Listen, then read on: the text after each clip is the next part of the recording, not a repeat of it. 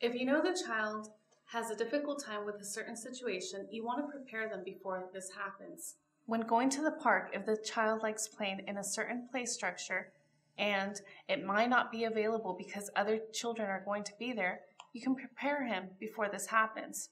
For example, you could say something like, "We when we go to the park, somebody might be on the tire swing and it might not be available. And this may cause you to feel disappointed.